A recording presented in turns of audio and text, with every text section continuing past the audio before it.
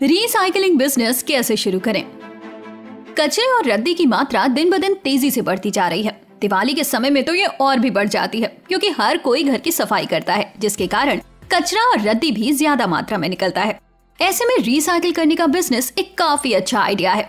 भारत में कम लागत में हो सकने वाले इस बिज़नेस में ग्रोथ का भी काफ़ी अच्छा स्कोप है। ये बिज़नेस एमएसएमई के अंडर आता है और एक छोटे स्तर का बिज़नेस है। अच्छी लोकेशन और कबाड़ी वालों की अच्छी जानकारी के साथ इस बिज़नेस की शुरुआत की जा सकती है। कई तरह के मटेरियल रिसाइकिल हो सकते हैं। आप अपने हिसाब से किसी को भी चुन सकते हैं। तो चलिए, जानते हैं इस बिज़नेस के बारे में। लेकिन वीडियो में आगे बढ़ने से पहले चैनल को सब्सक्राइब करें और बेल आइकन को क्लिक करना ना भूलें।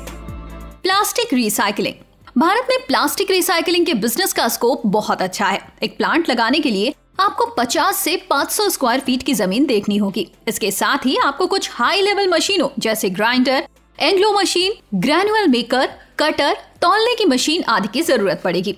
मशीनों को चलाने के लिए बिजली का इंतज़ाम भी बढ़िया होना चाहिए। प्रदूषण कंट्रोल बोर्ड से अनुमति लेने के लिए आपको फ़ीस देनी होगी।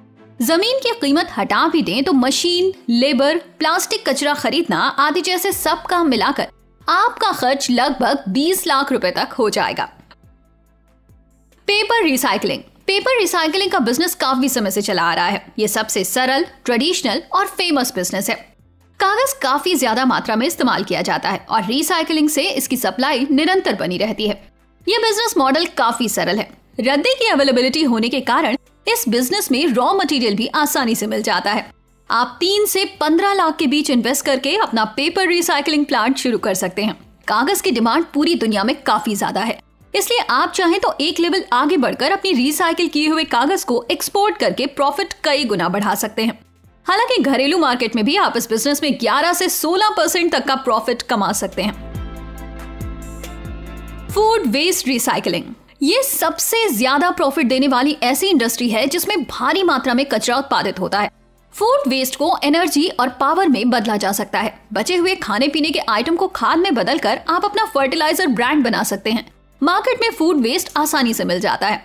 देखा जाए तो काफ़ी कम इन्वेस्टमेंट में आपको इस बिज़नेस में लगभग 15 प्रतिशत का ठीक ठाक प्रॉफिट हो जाएगा। इसलिए ये ऑप्शन काफ़ी बेहतर है। Electronic waste recycling cadmium phosphorus lead आदि जैसे इलेक्ट्रॉनिक वेस्ट काफ़ी फ़ायदेमंद होते हैं। लेकिन इलेक्ट्रॉनिक कचरे में कुछ खतरनाक मेटल होने के कारण आपको सावधानियाँ बरतनी चाहिए। इसी कारण आपकी टीम में एक्सपर्ट्स का होना बहुत ज़रूरी है। आपको सरकार द्वारा दिए गए मानदंडों के मुताबिक ज़रूरी अनुमतियाँ लेनी होंगी और अपने दस्तावेज़ तैयार करवाने होंगे। बस, थोड़े एहतियातों को बरत कर आप इस बिज़नेस में अपने इन्वेस्टमेंट पर एक अच्छा रिटर्न पा सकते हैं। अगर आपके पास रिसाइकिल प्लांट लगाने के लिए पैसा नहीं है तो आप अपना वेस्ट कलेक्शन सेंटर खोल सकते हैं, जहाँ नगर निगम या अन्य लोग अपनी रद्दी जैसे plastic aluminium can food waste paper आदि डाल पाएँ। जमा किए गए कचरे को छाट कर आप रिलेटेड बिज़नेस या दूसरे बड़े रिसाइकलिंग सेंटर्स को बेच सकते हैं। इसमें आप 9 से 12 परसेंट तक का मार्जिन कमा सकते हैं। इसके लिए आपको बस अपना सेंटर खोल ले और अपने कचरा उठाने वाली गाड़ी के आने जाने के लिए संबंधित अधिकारियों से अनुमति लेनी होगी। समय के साथ आप बढ़ेंगे और बिज़नेस में भी स्थिरता आएगी। बिज़नेस के जमने और अच्छी कमाई करने के बाद आप अपना खुद का रिसाइकलिंग प्लांट शुरू कर सकते हैं।